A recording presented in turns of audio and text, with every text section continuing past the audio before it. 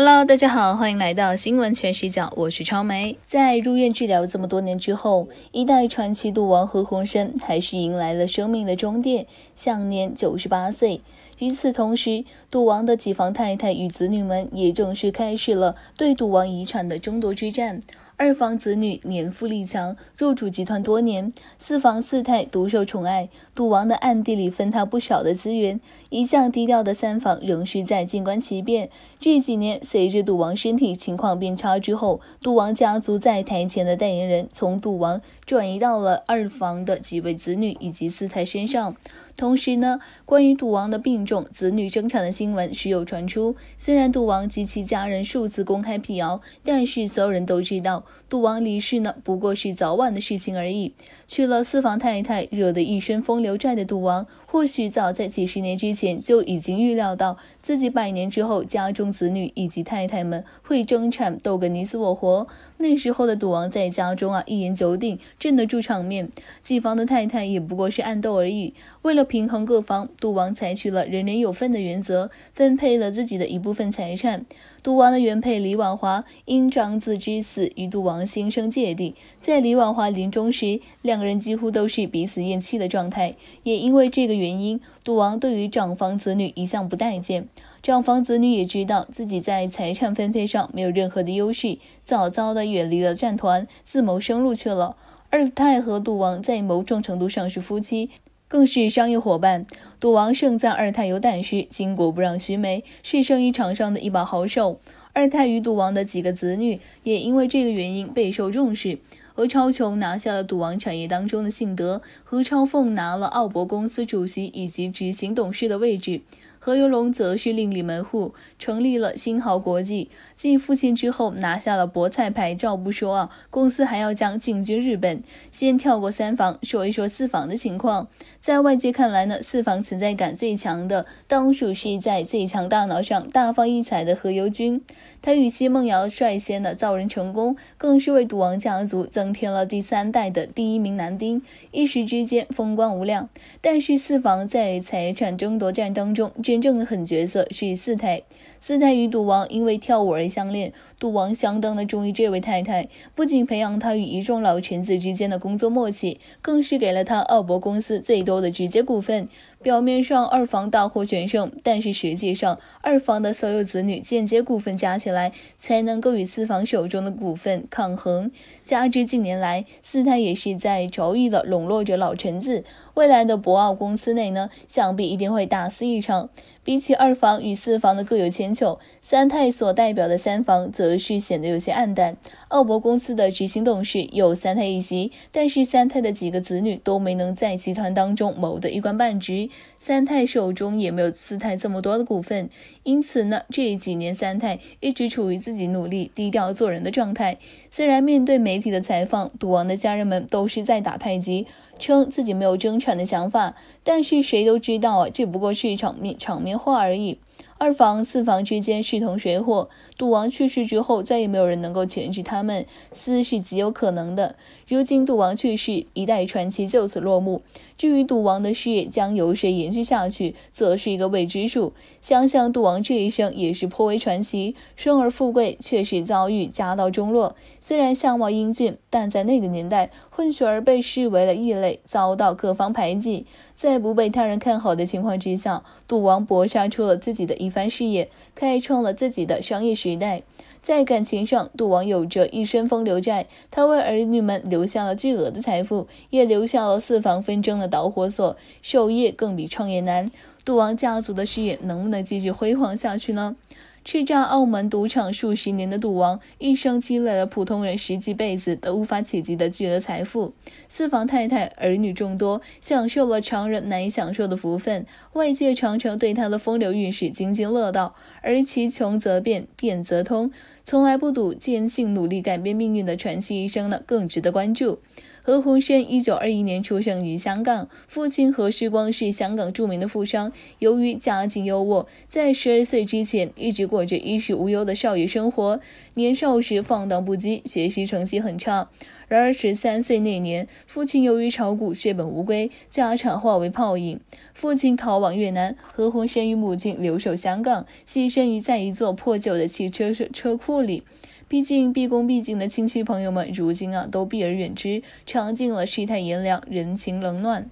失去后才知道珍惜。何鸿燊明白，穷人只能靠读书方可出头。从此，他发奋苦读，到学期末已经变成了全班第一，并且如愿的获得奖学金。通过勤奋学习，在四年之后考进了香港大学，并且拿下全额奖学金，开始了自己的人生蜕变。如果当你也陷入到困境，要明白决心就是力量，有信心才能成功。也不要怪罪父母，不要将你应该承担的责任转嫁给他人，而要从中吸取教训，促使自己成长和强大。用乐观的态度迎接困难，因为能打败你的、帮助你的只有你自己。一九四一年，太平洋战争爆发，香港失守。才读到大三的何鸿燊没有书读了，机缘巧合之下离开香港，揣着仅有的十港元，用一个难民的身份挤在了难民船舱的啊，来到澳门。何鸿燊来到澳门的第一份工作就是做秘书，在那么艰苦的条件之下，为了工作，他依然可以废寝忘食的自学多国语言。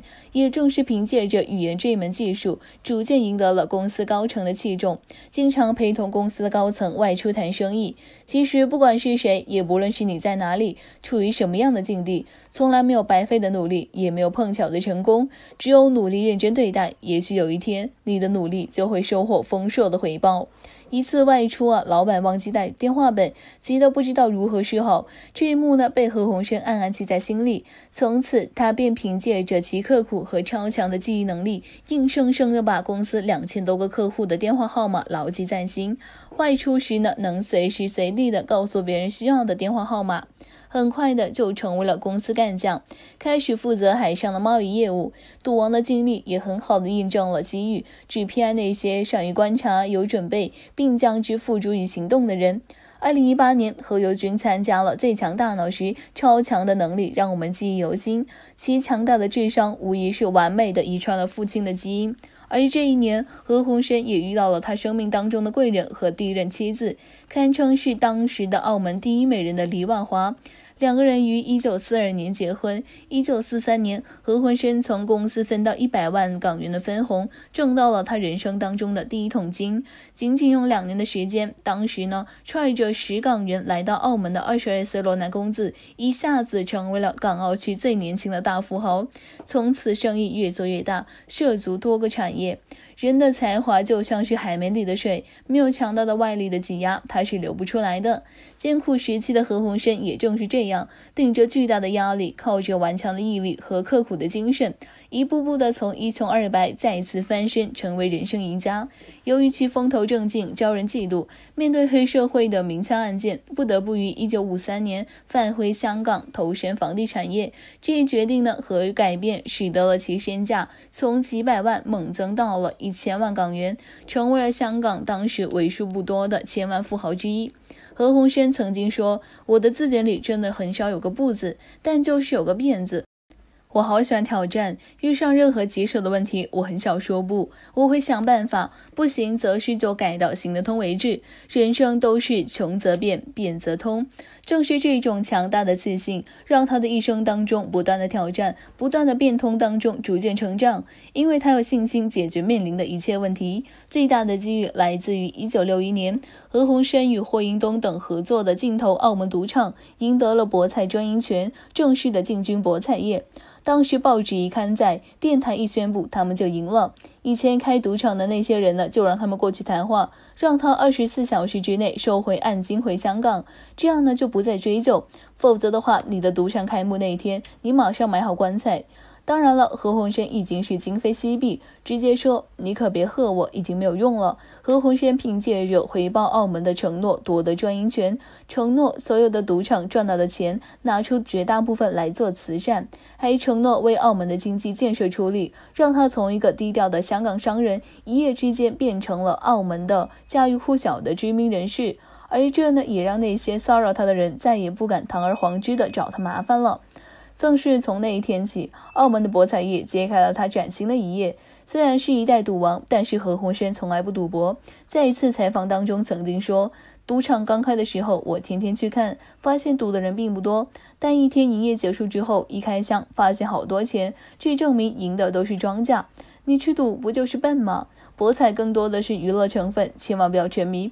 我这个赌牌持有人呢，从来不赌钱，所以啊，劝君莫把赌博沾。没有人能够靠赌博发财的。赢钱时花天酒地的，不知节约；输钱时用光老本。只要不赌，你就赢了；你赌就输了。要是不想输，唯一的方法就是远离赌博。